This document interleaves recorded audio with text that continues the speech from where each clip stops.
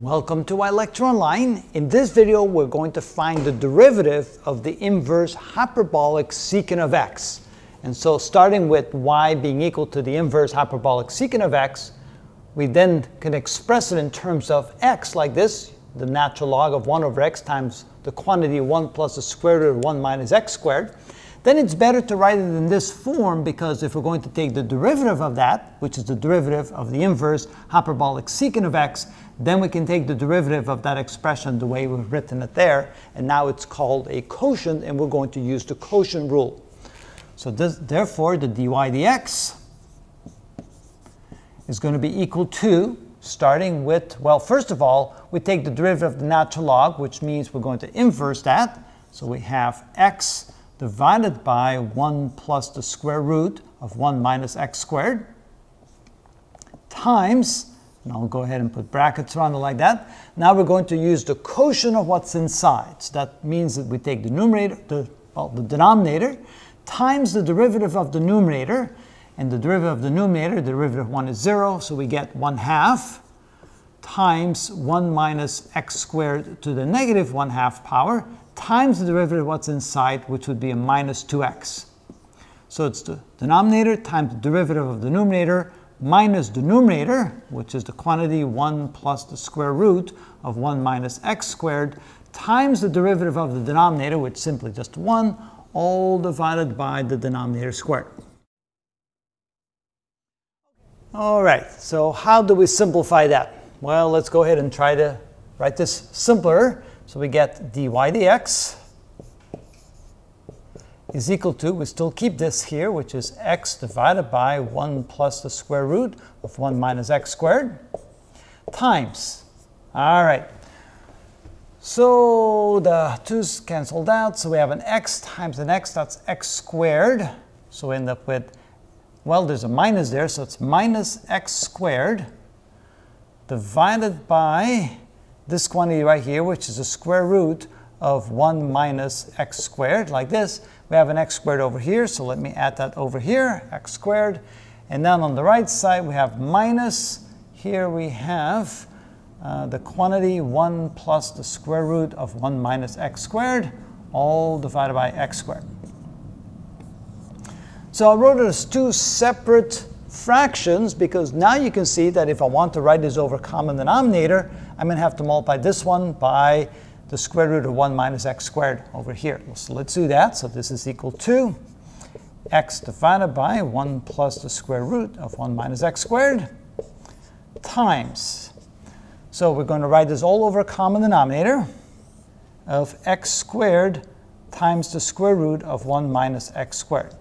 In the numerator, here we have a minus x squared, and I have minus this quantity right here, which is the square root of 1 minus x squared, multiplied times 1 plus the square root of 1 minus x squared. There we go. And now you can see that when we'll multiply this through, we'll end up something that we could probably simplify even further. So let's see, here we have x divided by 1 plus the square root of 1 minus x squared times over here we have minus x squared.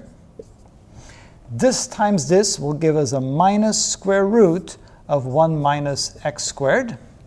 And this times this, now notice we have a negative in front of it, so that will give us a minus 1 and uh, a minus x squared, because this times this will give us a minus x squared, but with a negative will give us a plus x squared right here, all divided by x squared times the square root of 1 minus x squared.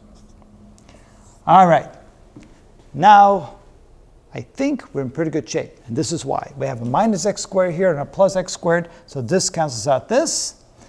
And notice that we have over here a 1 plus the square root of 1 minus x squared. And here we have a minus 1 minus the square root of 1 minus x squared. So essentially, that can cancel out if we take the negative sign and bring it over here. So we're going to make this negative. So we can cancel this whole thing out like this and cancel this out right here because this is essentially equal to that. What we have left, that becomes 1 in the numerator.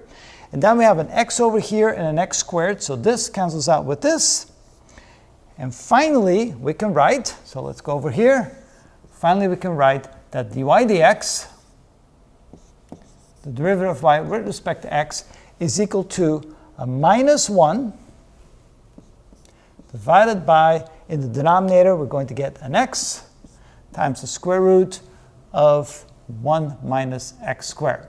And since dy dx is equal to the derivative of the inverse hyperbolic secant of x, we can say that the d dx of the inverse hyperbolic secant of x is equal to minus 1 divided by x times the square root of 1 minus x squared.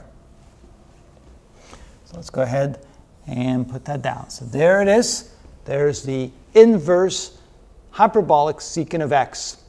Now, we can reverse that, which means that if we take this quantity right here, we can then say that the integral of 1 over x times the square root of 1 minus x squared dx is going to be equal to the negative inverse secant or hyperbolic secant of x. The negative here, of course, comes from the negative over there, but notice that now that we have the derivative of the inverse hyperbolic secant of x, we can then also use that expression and see if we have that in an integral sign, we then know what the integral of that is.